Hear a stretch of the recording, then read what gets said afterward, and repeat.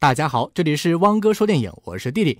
我们今天来看一个男孩拥有两个身体的脑洞故事——坏未来。陨石男孩在着陆的时候被砸成了两半，于是他拥有了两个身体。他的上身有个装置，可以让他在两种模式里进行转换。当他把旋钮调到坏模式时，他就变成了残忍和充满了暴力的赵寇。所有坏男人该有的缺点，他通通有。赵寇和活阎王搭档杀人无数，为非作歹，整日混迹于帮派之间，成天干着黑色勾当。当他把旋钮调到好模式时，他又变成了天真的少年孙白。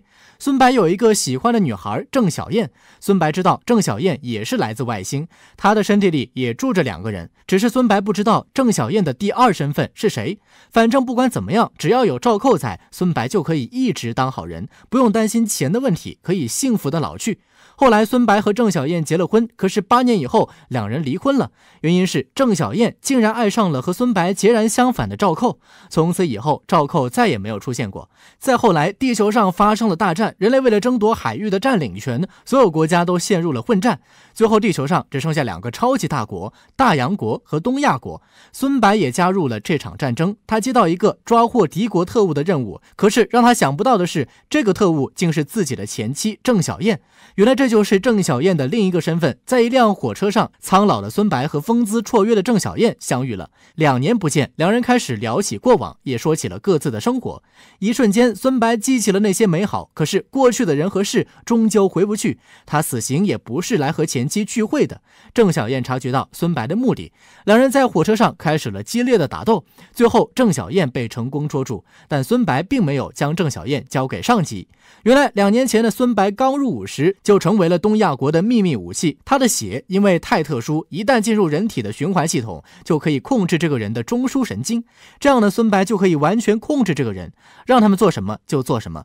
让他们跳下楼，他们也会乖乖的听话。于是军方用他的血去摧毁大洋国的所有国民，而孙白提出的条件则是一张赦免令。孙白被抽干了血，所以他才会变得这么苍老。政府将他的血洒在了大洋国的上空，就这样，孙白用七亿条敌国的生命换来了一张间谍赦免令。解救郑小燕之后，孙白告诉了郑小燕，他就是赵寇。可是郑小燕说自己爱的只是赵寇，一句话就打败了孙白。在郑小燕的刺激下，孙白扭转旋钮变成了赵寇，并决定和郑小燕老死不相往来。下了车之后，他却接到郑小燕打来的电话。郑小燕为了避免他遭受大洋洲间谍的追杀，于是将火车和孙白的身体一起炸掉了，而自己则坐在孙白的身体旁。他希望孙白能够用赵寇的身体好好的活下去。如果以后有幸再见，郑小燕希望可以和他重新开始。他这才明白，无论郑小燕爱的那个人是谁，那个人都只是他。郑小燕爱的是全部的他，包括他的好与坏。赵寇疯狂地奔向火车，可是眼前只剩下一片残骸，只剩下一具身体的赵寇成为了新当选者忌惮的存在。他们害怕赵寇扭动旋钮，于是在他的身上浇筑了五吨的混凝土，凝固后将他埋入了地下。但是赵寇并没有死，因为他的头发还在继续生长，可是他却动不了。同时，外面的世界也在发生着改变，人类很快就因为动荡灭绝了。一次火山的爆发彻底消灭了人类存在的痕迹，地球变得无比安静。又一次火山爆。发，几十万年又过去了，封住赵寇的石头终于裂开。唐僧缓缓走了进来，他此行就是要带赵寇前往西方极乐世界，去见那个他想见的人。